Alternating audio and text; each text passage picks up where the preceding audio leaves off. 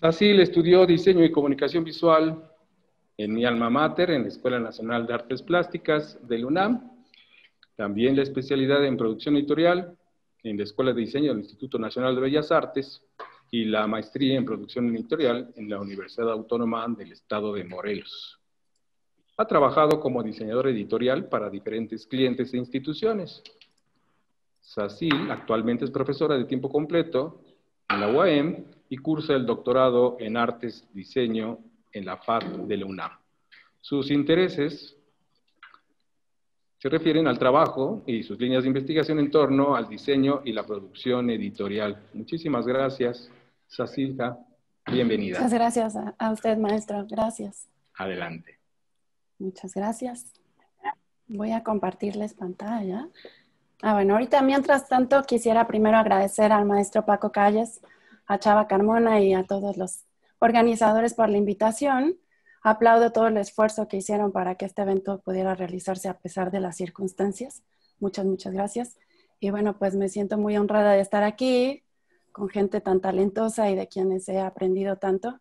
Quisiera contarles que la primera vez que asistí a tipografilia yo todavía estudiaba la licenciatura y fue mi maestro de diseño editorial, Mauricio Rivera, a quien le debo gran parte de mi pasión por el diseño y por la tipografía y de hecho por la impresión tipográfica, que nos dijo el evento y pues yo fui y ahí conocí pues al maestro Paco Calles, a diversos investigadores, diseñadores, tipógrafos que pues compartieron trabajos y entre ellos ahora mi tutora del doctorado, la doctora Marina Garone. Entonces, bueno, les cuento esto para que pues compartirles el gran cariño que tengo por, por este evento de tanta importancia para todos los que nos dedicamos al diseño.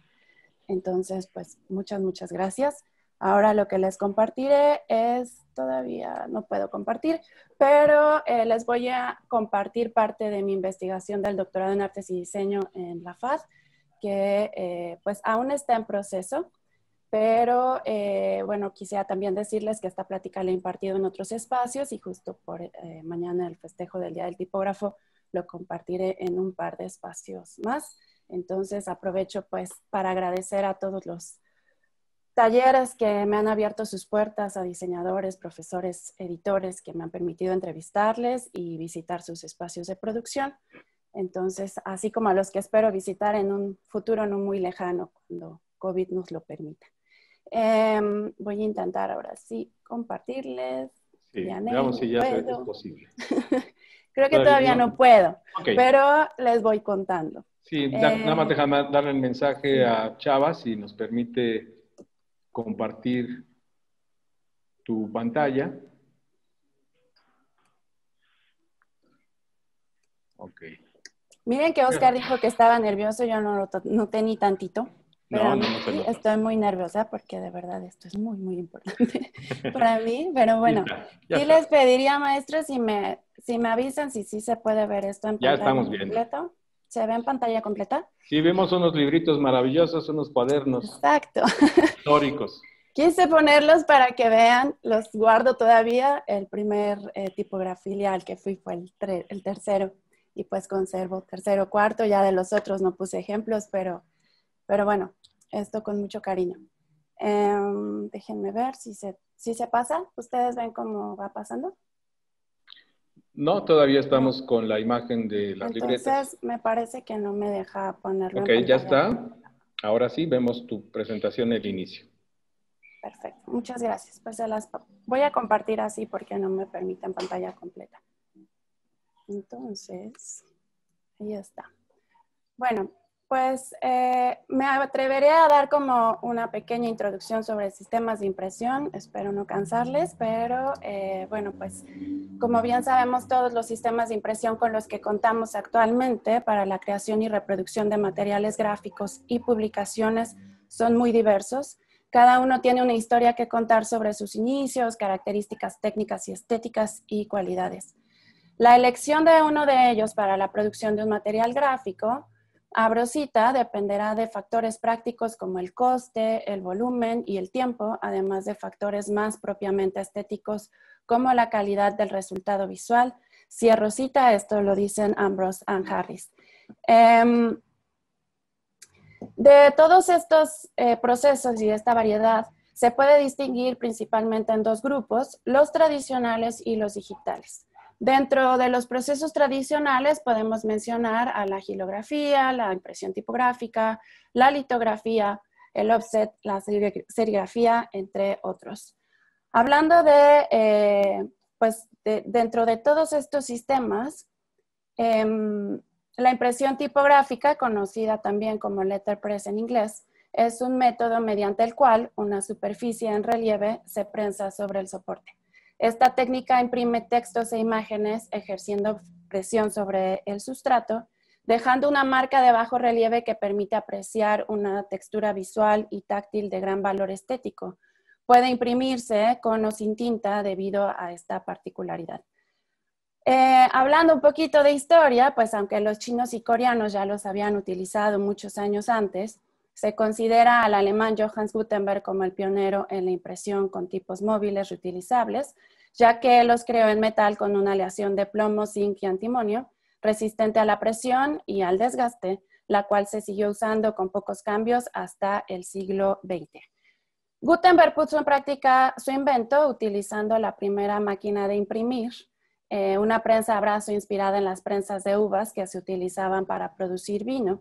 El arte de imprimir se propagó rápidamente por toda Europa. El proceso fue evolucionando, cambiaron las máquinas, los tipos, así como también la manera de colocar el papel y la forma de entintar las matrices. La impresión tipográfica fue la primera forma de impresión comercial y durante siglos fue la única disponible, desde la época de Gutenberg, como hablábamos a mediados del siglo XV, hasta la aparición de la litografía offset a principios del siglo XX. Como afirma Adrián Frutiger, em, este invento fue un logro histórico que cambiaría la historia de la humanidad y yo creo que todos nosotros coincidimos con él. Debido a los avances tecnológicos, la impresión tipográfica, perdón, la impresión litográfica offset con menores tiempos de producción y posibilidades más sencillas de reproducción, reemplazó a la impresión tipográfica, la cual pasó a ser económicamente inviable. Y bueno, de hecho, se sigue usando el offset y predomina todavía en la industria editorial. Por tanto, podemos decir que la impresión tipográfica es un sistema de impresión con mucha historia. Ha subsistido a lo largo de más de cinco siglos.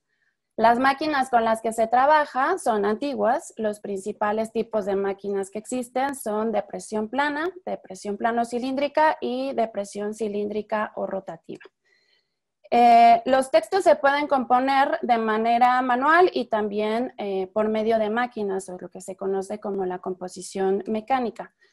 En el caso de la composición manual, el impresor toma del cajón tipográfico uno por uno los tipos que conformarán el texto y los va colocando en el componedor para así componer las líneas y galeras completas.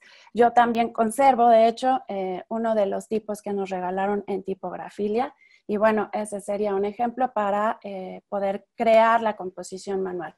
Para la composición mecánica existen dos diferentes máquinas componedoras, ambas cuentan con un teclado donde el operario mecanografía el texto a componer. Del lado izquierdo pueden observar lo que es la monotipia, que funde caracteres separados y los alinea. Y del lado derecho ven un linotipio, que ahí es donde se funden las líneas completas.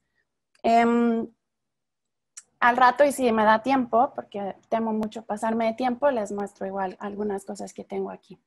Entonces, generalmente son los tipos eh, de madera o metal los que conforman la matriz de impresión de textos, así como las líneas de linotipo que podemos ver del lado derecho. Para imprimir imágenes se puede utilizar eh, las planchas fotograbadas con diseños a línea o medios tonos y además de poder componer con los métodos tradicionales, es posible ahora crear la matriz con una placa de fotopolímero a partir de diseños digitales, principalmente vectoriales, tanto textos como imágenes. Ahora afirma Charlotte Rivers que, abro cita, la impresión tipográfica experimentó una cierta revolución con la introducción de estas planchas que se han convertido en una opción muy común entre los impresores tipográficos gracias a su rentabilidad y su capacidad para reproducir resultados excelentes. Cierro cita. Ahora bien, debido a que los procesos de la impresión tipográfica pueden realizarse tanto de manera manual como mecánica, se considera que abarca tanto la categoría de artesanía como la de procedimiento industrial. Actualmente algunos afirman que es un proceso totalmente artesanal porque no se compara con la reproducción masiva que caracteriza otros sistemas como el offset, el rotograbado, la, la, flexografía, por ejemplo, y porque muchos talleres están retomando composiciones y procesos meramente manuales. Otros eh, la llaman hecho a mano, ya hablaremos, por ejemplo, del taller gráfica de Comala. Asimismo, influye en esta denominación el tamaño y producción de los talleres, muchos de ellos pequeños y que producen tirajes cortos. Habrá que discutirlo, creo yo, y en su caso confirmarlo, al entrevistar a los productores gráficos que la trabajan hoy en día. Y bueno, pues como bien dijeron la Borderie y Boisson, las páginas de tipografía más hermosas han sido y serán compuestas a mano. Y espero no recibir ahorita jitomatazos. Eh, con esta técnica, eh, la impresión varía cada vez que se prensa sobre el soporte Todas las piezas creadas son diferentes debido a la presión, cantidad de tinta y características del sustrato donde se imprime. Cada impresión es sutilmente diferente por lo que se considera única. Esta cualidad confiere al impreso gran singularidad y la diferencia al letterpress de los sistemas de impresión más utilizados en la actualidad, además de darle un valor eh, estético agregado. Y no me dejarán mentir que muchos simulan esta textura en diseños digitales, de hecho.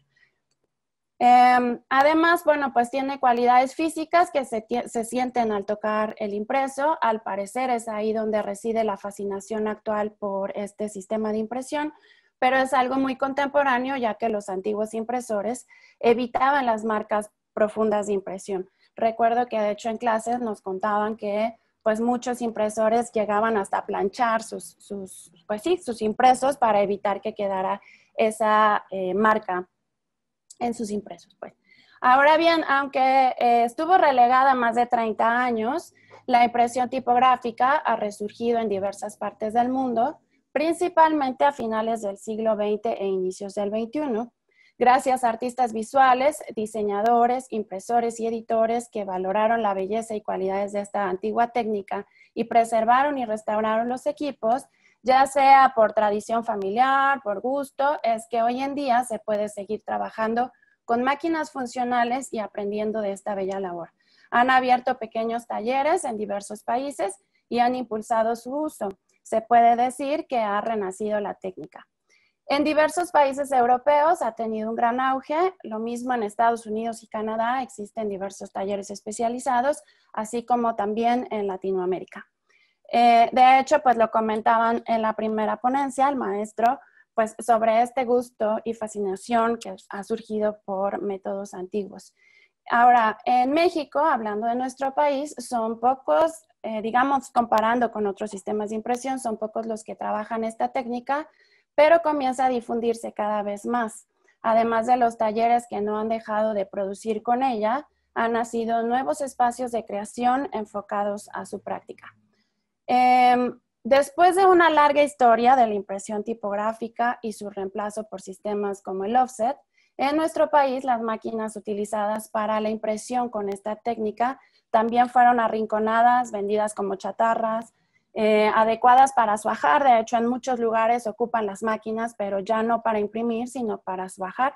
Y pues eh, principalmente ha sido en esta, pues sí, esta última década que este sistema de impresión se podría decir que ha sido resucitado por aquellos que han rescatado las pesadas máquinas de sótanos e imprentas en quiebra, las han restaurado y pues las han vuelto a utilizar. Ahora, eh, bien, ya hablando específicamente de talleres en México, me atrevo a decir que no es que sean los únicos, voy a hablar de los más conocidos. Los clasifiqué según eh, las cinco mesorregiones propuestas por el Plan Nacional de Desarrollo. Entonces aquí, bueno, podríamos ver en el noroeste está Grato Letterpress, pueden ver entre paréntesis años de fundación. En el noreste, eh, bueno, en Nuevo León está la tipográfica, Filomena, Fobea Lab. En el centro, en la Ciudad de México, podemos encontrar a Taller Editoria, a Juan Malasuerte Editores, 30 Dedos, que de hecho, gracias a Ale, que además, pues sí, creo que creció mi, mi gusto y pasión por, por este sistema. LEDAR en la FADUNAM, Taller 1895, Jardín de Matatena, El ombligo del libro y Alacena tipográfica. Insisto, no son los únicos, sino como los más conocidos y a partir de los cuales pues yo estoy eh, haciendo esta investigación. En el centro occidente, en Michoacán, está el maestro Juan Pasco en el taller Martín Pescador y la Mano Press. En Jalisco podemos encontrar taller gráfica de Comala, Betún de Mantequilla, a Impronta Casa Editora, Ediciones del Triciclo y Tipográfica Press. Al sur sureste, en Puebla, está Destraces Ediciones, en Cholula, en Oaxaca está el taller del Alacrán y en Jalapa, Veracruz, podemos encontrar a la Ceiba eh, Gráfica. Eh, la impresión tipográfica en general se está utilizando principalmente para la realización de impresión comercial, papelería como tarjetas de presentación, invitaciones, etiquetas, así como otros trabajos por encargo. En esta diapositiva pueden ver resaltados los talleres que ofrecen este tipo de servicios. Aquí, eh, bueno, a continuación, algunos ejemplos de impresiones de tarjetas de presentación, por ejemplo, de Grato, de 30 dedos y de Jardín de Matatena.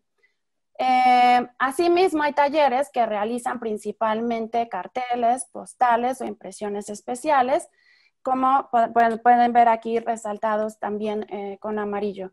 Algunos ejemplos de ellos son estos, como los carteles del ombligo del libro o una colección que hizo eh, de cuestiones del metro a la cena tipográfica. Aquí podemos ver un cartel de Ledar y uno de Ale de 30 dedos. Entonces, bueno, ya enfocándonos o hablando específicamente de edición, pues hay talleres y editoriales que producen libros con este sistema. Algunos solo han creado una sola publicación, o sea, llevan solamente un título, otros decenas o hasta cientos de títulos. Em, cada uno de estos productores poseen particularidades que eh, pues diferencian su trabajo de los demás, como por ejemplo sus perfiles profesionales. Hay literatos, diseñadores, arquitectos, artistas visuales. Por el tipo de publicaciones, eh, pues hay libros de artista, libros de colección, proyectos meramente académicos, otros que tratan eh, documentos históricos. Las temáticas pues son poesía, cuento, ensayo, historia, algunos específicamente sobre tipografía, diseño o patrimonio cultural. El número de títulos que producen anualmente, que de hecho les decía, hay quienes han producido un único título y hay quienes su producción pues es mucho más vasta. Los tirajes, que algunos hacen cortos tirajes únicamente de decenas de libros, otros apuestan por un tiraje comercial, se han llegado a imprimir miles de ejemplares de un solo título con este sistema. La mayoría son publicaciones foliadas y en algunos casos firmadas por los autores. El proceso de producción pues eh, varía, las máquinas y las matrices que emplean también, algunos trabajan únicamente con composición manual, otros composición manual o mecánica, y otros usan el fotopolímero, por ejemplo. Hay quienes imprimen con máquinas planas, otros con roles de prueba, o hay quienes adaptan eh, pues, máquinas para poder hacer su impresión. Los papeles y acabados que emplean también son diversos, papeles y encuadernaciones especiales en algunos casos. Asimismo, su proceso de difusión, comercialización y circulación cambia, tanto también como los costos de sus publicaciones. Aprovecho para mencionar que aunque el título de la ponencia dice que es edición con tipos móviles, perdón, no aplica en todos los casos, ya que algunos componen sus textos mecánicamente con linotipia. Otros han empleado, como les decía, únicamente planchas de fotopolímero creadas a partir de diseños digitales. Y bueno, algunos combinan las técnicas tradicionales con las modernas, pero quise nombrarle así como referencia y homenaje a la composición manual tradicional con tipos móviles. A continuación, presentaré brevemente eh, algunos casos particulares, tanto de editoriales como de talleres que producen publicaciones con este sistema de impresión. Comenzamos con el taller Martín Pescador, fundado por el escritor, investigador y editor Juan Pasco. Él lo fundó en 1975 en la Ciudad de México, pero se encuentra actualmente en Tacámbaro, Michoacán. Pasco es considerado uno de los impresores más representativos de México, referencia y ejemplo para muchos. Ejemplo de ello es el homenaje que se le hará en la FIL Guadalajara. Él trabaja únicamente con métodos manuales tradicionales, libros, documentos históricos, carteles, ex libris.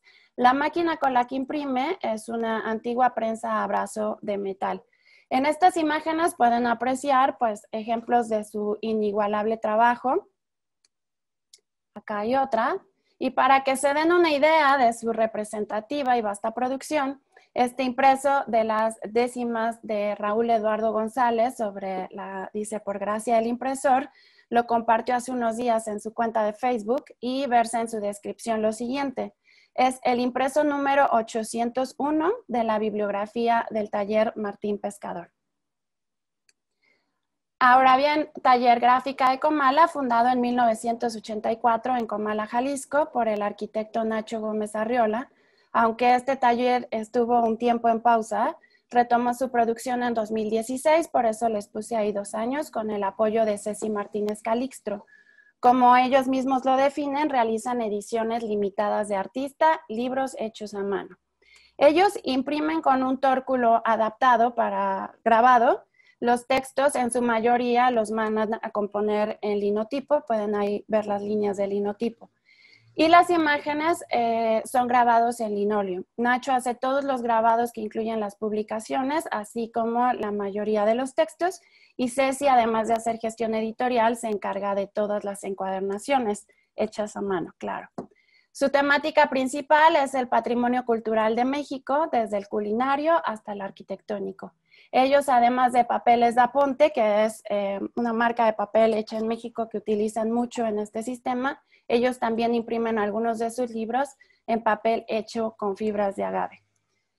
Taller Editoria, fundado en 1995 en la Ciudad de México, realiza ediciones de autor tipográficas. Está dirigido por su fundador, el artista y editor Roberto Révora, además de la editora Luz de Lourdes García. Pertenecen al equipo editorial los maestros impresores Jorge Jiménez y Gilberto Moctezuma.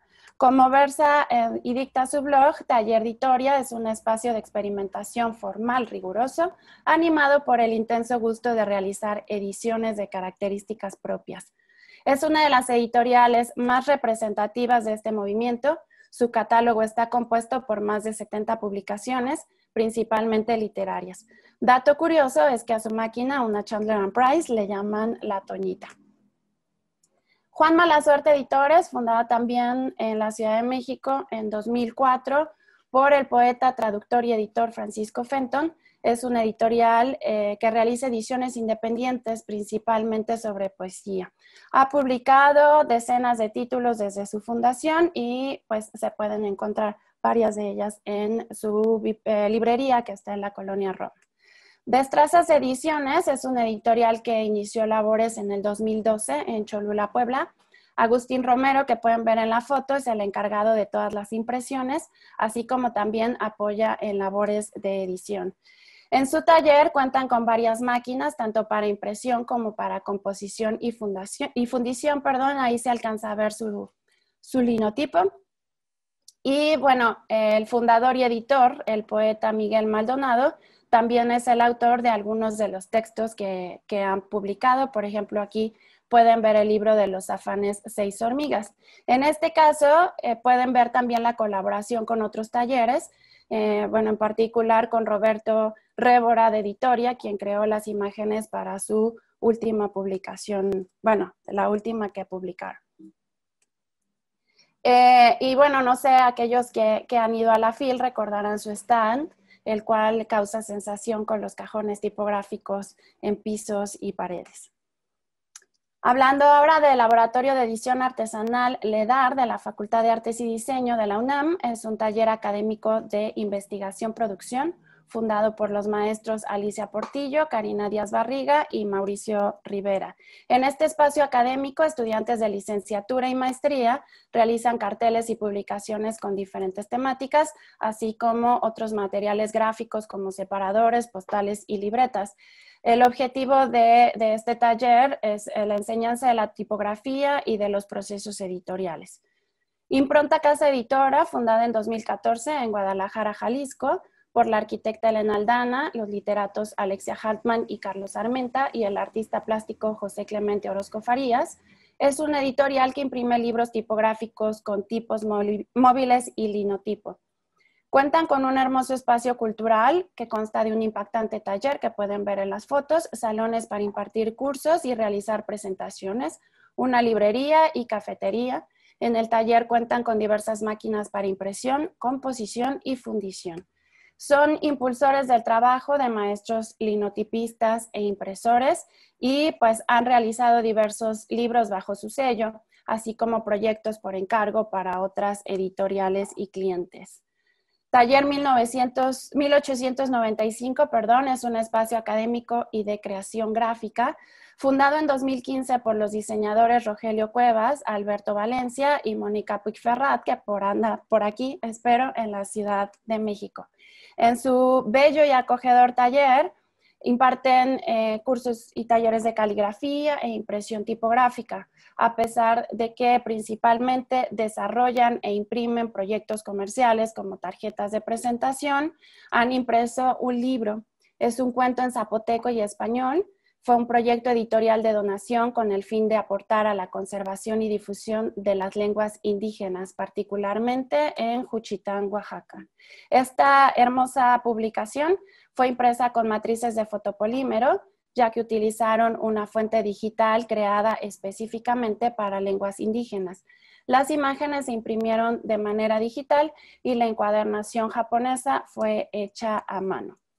Ediciones del Triciclo, fundada por el diseñador y coleccionista Rodolfo Sánchez en 2018 en Guadalajara, Jalisco, realiza ediciones artesanales, libros de artista, hasta ahora ha publicado dos libros de Juan José Arreola, de una serie de cinco que tiene planeada. Es un proyecto que gira en torno a un rol de pruebas Van der Kook y además de su fundador y director, otro amante de este sistema de impresión colabora con la editorial, se llama Fernando Castro. Ahora bien, después de hablarles brevemente sobre estos talleres, porque hay mucho que decir, eh, pues quisiera comentar que con el resurgimiento de la impresión tipográfica en la producción nacional, se está revalorando su cualidad técnica y estética. Cada vez más talleres están reviviéndola. Además de los ya mencionados, seguramente existen y existirán más talleres que la retomen para su producción gráfica y editorial, como Javiera Pinto Canales, que también debe de andar por aquí y que impartirá un taller más tarde. Aunque este proyecto sigue en desarrollo, me refiero a mi investigación y lo que presenté es un poco, eh, muy, muy poco comparado con la amplia y apasionante información que esto implica, quisiera concluir con algunas reflexiones. Primero que retomar la impresión tipográfica es un aporte a los medios de comunicación y por ende a la sociedad. Este proceso de impresión se encuentra en constante evolución. Cada impresión es sutilmente diferente, como les decía, única. Asimismo, las publicaciones. Esta cualidad les confiere gran singularidad, les da un valor estético agregado. La edición tipográfica en México se podría decir que es poca, pero de gran calidad. Son en general producciones limitadas, de colección consideradas por algunos como libros raros. Ahora, no hace mucho tiempo que se auguraba la muerte del libro impreso y por lo tanto de la impresión sobre papel. Sin embargo, además de seguir existiendo, se han retomado técnicas antiguas de reproducción como la impresión tipográfica y se han enriquecido con otras nuevas, algunas digitales, estando así más vitales, activas y creativas que nunca. Cito a Silvio Antiga de Tipoteca Italiana, quien dice que preservar el legado de la impresión tipográfica es salvar parte de la humanidad. Si tienen eh, interés por eh, este tema y otros relacionados, pues les invito a ver las ponencias del octavo Encuentro Internacional de Bibliología del CIP del IP de la UNAM, que este año tuvo como tema la cultura impresa y tipografía, historia, edición, educación y preservación, Pueden eh, ver todas las ponencias en el canal de YouTube de la Biblioteca Nacional de México, así como en el canal de estudios del libro y la edición, donde van a poder ver investigaciones sobre eh, la historia de la imprenta, pero también hay eh, varias ponencias de los talleres donde nos cuentan su experiencia, cómo es que han trabajado y cómo es que han retomado este sistema de impresión. y bueno, pues muchas gracias. Feliz día del tipógrafo, ese es mi correo por cualquier cosa. Y debido a que no pude usar el fondo de pantalla hermoso que nos mandaron, pues lo dejo aquí. Muchas, muchas gracias y bueno, cualquier pregunta o consulta. aquí estoy. Muchísimas gracias, Asiel, muchísimas gracias. No, usted, maestro, déjeme, dejo de compartir, ya está. Muy bien. Estuve triste porque mi computadora no me dejó poner el fondo de pantalla. No, mira, no te es tan triste porque, bueno, estamos varios tristes porque, mira, yo tampoco. Tampoco. Mi equipo tampoco me lo permite. Bueno, vamos a pasar a la sección de preguntas y respuestas. Tenemos unos minutitos por ahí. Eh, pregunta, ¿es posible utilizar las impresoras 3D para generar caracteres inexistentes en tipos de metal? Pues más que en tipos de metal, yo creo que serviría para poder generar un original al cual se le saque el molde y poder fundir el de metal. Propiamente para imprimir, si no me equivoco, el material con el cual se hace la impresión 3D es muy blando como para poder recibir el, pues el golpe, pero sí han hecho varias experimentaciones, por ejemplo, con corte láser en em, acrílico. Claro que les permiten menos impresiones que, en un tipo, que un tipo de metal, pero sí, sí, sí hay como otro tipo de recursos para poder eh, obtener la matriz en relieve. Espero haber respondido a la pregunta. Sí, muy bien, gracias. Hacer impresiones con fotopolímeros tendría el mismo valor que la impresión tradicional. Chan, chan, chan, buena pregunta. bueno, ahí no me atrevo a hablar de valor. Creo que realmente me atrevía, por ejemplo, a enlistar los talleres de los cuales les hablé muy brevemente, como, eh, digamos, como del más tradicional, que sería eh, Juan Pasco, que él únicamente forma con eh, composición manual, tipos móviles, él, hasta donde yo sé, ni siquiera mencionarle el fotopolímero, creo yo. Y bueno, hay otros talleres que están imprimiendo solo con fotopolímero o con una combinación de tipos móviles y fotopolímero. Yo no creo que es que uno tenga más valor que otro, lo que sí me atrevo a decir es que por eso algunos consideran que si es con fotopolímero o con algún otro eh, matriz en relieve no le llaman propiamente impresión tipográfica, sino que eh, pues dicen, ah, solo es letterpress o es impresión en relieve. Entonces, digamos que ahí podríamos entrar a un gran debate para saber o poder tener como cada un criterio. Yo no creo que tenga menos valor, es solo como que son formas de componer distintas, unas totalmente tradicionales y otras que creo que es muy interesante es cómo pueden ¿Cómo podemos imprimir mezclando lo tradicional con estos, eh, pues con el fotopolímero, que de hecho no crean que es algo nuevo, o sea, desde los años 50 existe el fotopolímero. La cuestión ahora es que diseños digitales se traduzcan a este fotopolímero y podamos imprimir lo que estamos viendo en pantalla. Pues. Sí. Otra inquietud que tenemos por acá. Bueno, creo que lo comentaste. Si conoces algún taller de tipos en Guadalajara, Ah, ya lo contestaron por aquí. Sí, está Impronta, está, bueno, hay, muchos en Guadalajara y de hecho les recomiendo visitar Impronta. Ellos hacen eh, trabajos por encargos y lo que quieren es, están también, están abiertos a, impartir talleres. Pues está Rodolfo, está también Nacho, Ceci. Sí, hay varios. Desde tu particular punto de vista, ¿cuál es el rol que cumple en la actualidad la impresión tradicional? Híjole, yo creo que una muy importante y, pues ahorita hablaba poquito, pero del EDAR y también el taller 1895, es que creo que la impresión tipográfica puede ser un medio muy importante para la enseñanza de tipografía y que es un tema que nos reúne ahorita aquí a todos. Entonces, el poder enseñar cuestiones tipográficas, editoriales y de formación para estudiantes y para profesionistas, creo que ese es un fin y pues sería algo que ya está cumpliendo y que podríamos aprovechar más los docentes, por ejemplo. Y también creo yo como para poder, mm, yo ya pues diría conservar y fomentar eh, también aún la impresión en papel y aún con estos valores eh, táctiles y físicos que, que tanto valoramos yo confieso, digo, sé que vemos muchas personas, pero de pronto yo entro en conflicto personal como en cuestiones también de eh, ecológicas, ¿no? Que me dicen, ay, si tú que separas tu basura, pero mira, todavía estás imprimiendo libros. Entonces es bueno, sí, pero procuro hacer o poner de mi parte o desde mi trinchera lo que puedo para que también, además, eh, procuremos producir en papeles y con lugares que, que, sean también artesanales, en el caso de impresión tipográfica y de otros procesos industriales, papeles que se produzcan eh, cuidando al medio ambiente, por ejemplo. Pero bueno, espero haber contestado. Sí, claro que sí. Una pregunta más. Eh, sabemos que también ejerces la docencia en distintos espacios. Eh, y en relación a eso y al tema que nos has expuesto, la pregunta es la siguiente. Durante muchos años, la tipografía se ha enseñado de distintas maneras. Varios de nosotros, me incluyo, no tuvimos la oportunidad, digamos, de aprender estas artes y oficios del libro y de la impresión, y aún así se diseña. ¿Cuál podría ser, desde el punto de vista didáctico, el aporte que eh, nos abona, digamos, el conocimiento de la técnica de impresión tradicional? ¿Qué aporte tendría? Para la educación del diseñador.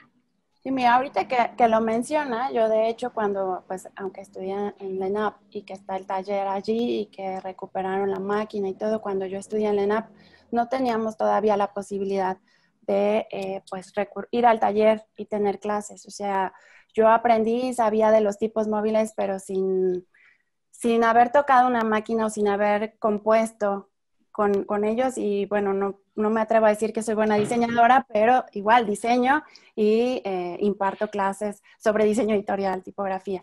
Pero al haberme acercado a este sistema de impresión, a los talleres, al haber tomado un taller, por ejemplo, con los de 1895, creo que el aprendizaje, no es que no pueda haber aprendizaje sin este sistema, pero creo que se refuerzan en muchos sentidos, eh, desde hablar de la forma de la letra, a qué nos referimos con el cuerpo, por qué se le llama tipo, eh, cuando hablamos, por ejemplo, de las fuentes, el solo saber que cada cajón implica una fuente distinta, que ahora en digital de pronto no dimensionamos porque ya estamos acostumbrados a cambiarle el tamaño o cuerpo de la letra de manera automática. En cambio, en impresión tipográfica tendríamos que ir por otro cajón para poder eh, pues hablar de otra variante, de otro tamaño, de otra eh, familia tipográfica, ir directamente por otra fuente. Entonces, creo que ayuda a no que no se pueda impartir o que no podamos compartir conocimiento tipográfico sin ella, pero creo que sí ayuda a reforzar muchos conceptos básicos de la forma y, y conceptos sí, básicos de tipografía. Y en cuestión editorial, eh, pues también creo que hemos caído mucho en ya querer todo hacerlo directo en la computadora. Y bueno, si le decimos alíneate a la izquierda, el párrafo se alinea a la izquierda y si le decimos céntrate, se centra. En cuestión manual, cuando armamos con tipos móviles, es todo un estudio y criterios y conocimiento y también poder dimensionar cuestiones de espaciado, de, de, espaciado entre caracteres, de espaciado entre palabras, alineaciones, márgenes, o sea, creo que ayuda a poder reforzar y eh, de hecho aprender ciertas cosas que a veces damos por hecho. Creo, ese es mi punto de vista. Muy bien, muchísimas gracias. Digamos que es la diferencia entre el diseño AC y el diseño DC, antes de la computadora y después, de la computadora. Muy bien. Y que no están peleados, creo, que se pueden ayudar, complementar y es lo que yo considero. Sí, perfecto. Muchísimas gracias, Sacilja. Muchas gracias por tu participación. Eh, simbólicamente, ahora, bueno, estoy presentando tu constancia, que también te la vamos a hacer llegar, Tipografía Estudios, la otorga la presente constancia a Sacilja Lotz Cruz García por haber impartido la conferencia que acaba de terminar hace unos momentos. Y también va, ya nos dirás a dónde, eh, el premio Tipografilia 14 para ti. Muchísimas gracias. Muchísimas gracias. Por gracias a ustedes por la invitación, por la atención y disculpen si abro rápido, pero temía pasarme el tiempo y lo cumplí, los 30. Muchas gracias. No, muy bien, perfectísimo. Gracias. Muy amables, muchas gracias.